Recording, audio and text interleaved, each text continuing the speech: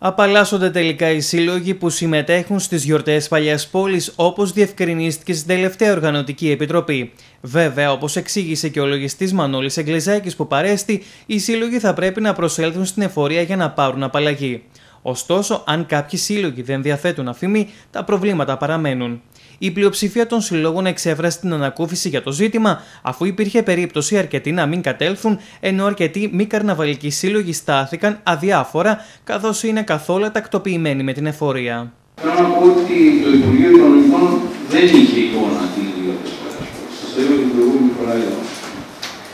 Ε, θέλω να πω επίσης ότι αν έπαιρνε οποιοδήποτε πολιτικός, ίσω τα πράγματα θα ήταν χειρότερα για όλη την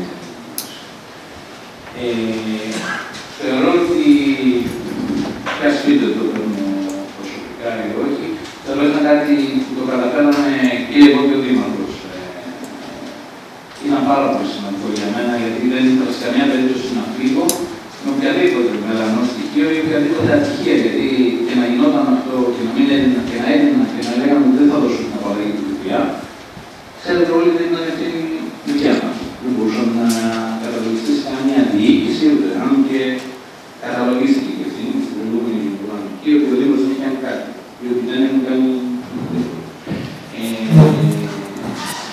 Θέλω να ευχαριστήσω επίσης πολύ για την άμεση ανταπόκριση του χθε, γιατί χθε ήταν οι τελευταίες συζητήσεις που κάναμε με το Υπουργείο και όπως σας είχα πει την προηγούμενη φορά ήταν ε,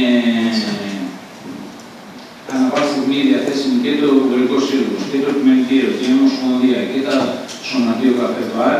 Και στο τρόπο το Υπουργείο μας ζήτησε όλες αυτές τις επιστολές από τα σωματεία αυτά ότι δεν λειτουργεί ανταγωνιστικά από τις επιχειρήσεις τους. Παράλληλα, παραμένει η υποχρέωση σε επίπεδο συστάσεων να εκδίδονται φορολογικά στοιχεία για όλε τι προμήθειε που θα κάνουν παρότι δεν θα αποδώσουν ΦΠΑ. Το Υπουργείο και είναι προ τιμή του ζήτησε μια παράκριση και μια παράκριση ζήτησε και τη διαφορία. Για να μην υπάρχει φοροδιαφυγή, να παίρνετε τα τιμολόγια κανονικά του προμηθευτέ σα. Δηλαδή, το δηλαδή σήμερα με την προσταμένη του Υπουργείου, δηλαδή λέει, προσπαθούν να καταπολεμήσουν τη φοροδιαφυγή, τουλάχιστον τονίστε ότι είναι επιθυμία του Υπουργείου και ο κύριος Κιτή που το είπε προσωπικά, και το έχω μεταφέρει, δεν, θέλουν, ε, δεν θέλω και εγώ να εμπλακεί σύλλογος, γιατί θα γίνουν έλεγχοι με τους προμηθευτές, μα ξέρετε ότι θα γίνουν, θα γίνουν και εντατικότερα έλεγχοι για τους προμηθευτές σα. Δεν θέλουν σε καμία περίπτωση να εμπλακεί σύλλογος στην κάλυψη κάποιου προμηθευτή.